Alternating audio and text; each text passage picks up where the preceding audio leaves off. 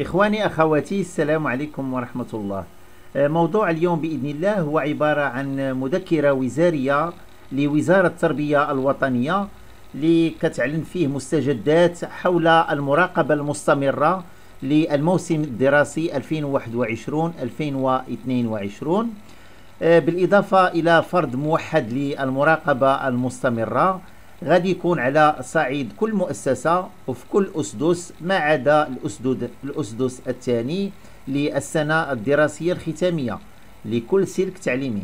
بالإضافة للفروض ديال المراقبة الصيفية وهذا الشيء طبقا للمذكرة وغادي نشوفوا طريقة احتساب نقط المراقبة المستمرة عبر هذا الخبر. فقد أعلنت وزارة التربية الوطنية والتكوين المهني والتعليم العالي والبحث العلمي قطاع التربية الوطنية عن إصدار مذكرة وزارية تتضمن عدة مستجدات بشأن تأطير إجراء مراقبة المستمرة للموسم الدراسي 2021-2022 وتهم هذه المستجدات حسب بلاغ للوزارة إرساء فرد موحد للمراقبة المستمرة يجري على صعيد كل مؤسسة تعليمية في كل أسدس ما عدا الأسدس الثاني للسنة الدراسية الختامية لكل سلك تعليمي. إضافة إلى فروض المراقبة المستمرة الصيفية وذلك وفق المحددات التي نصت عليها هذه المذكرة. كما تشمل المذكرة إعادة النظر في كيفية احتساب نقط المراقبة المستمرة وكذا معدلها السنوي العام بالمستويات الانتقالية للأسلاك التعليمية الثلاثة وبالمستويات الإشهادية واستثمار نتائج فروض المراقبة المستمرة الموحدة في التخطيط لأنشطة الدعم ومعالجة صعوبات التحصيل والتعثرات لدى التلاميذ على صعيد كل مؤسسة تعليمية.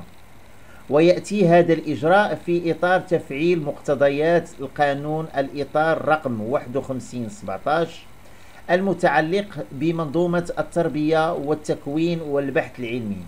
وذلك من خلال إجراء تدابير المشروع رقم 12 المتعلق بتحسين وتطوير نظام التقويم والدعم المدرسي والامتحانات كما يهدف إلى الرفع من مصداقية نتائج فروض المراقبة المستمرة وضمان تكافؤ الفرص بين المتعلمين والمتعلمات وكذا تقليص الفروض التي يتم تسجيلها بين النقط والمعدلات المحصل عليها في الامتحانات الإشهادية. وتلك المحصل عليها في فروض المراقبة المستمرة. إضافة إلى الرفع من فرص استثمار نتائج تلك التقويمات في التوجيه الناجع لأنشطة دعم ومعالجة تعثرات التحصيل لدى التلميذات والتلاميذ وتحقيق الجودة المطلوبة.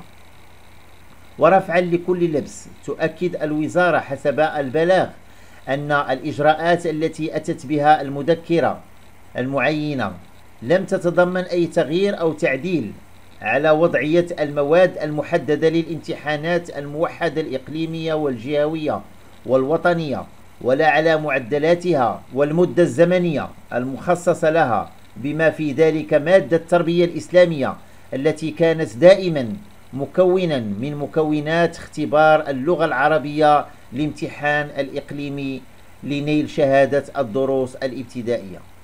إذا إخواني أخواتي كان هذا بعجالة قرار وزارة التربية الوطنية التي تم إصداره عبر آه، المذكرة الوزارية بخصوص مستجدات التعليم. كان معكم محبكم في الله عمر من قناتكم عمر بغاف رجاء وضع تعليق والضغط على زر الإعجاب والمشاركة. شكرا لكم وإلى اللقاء.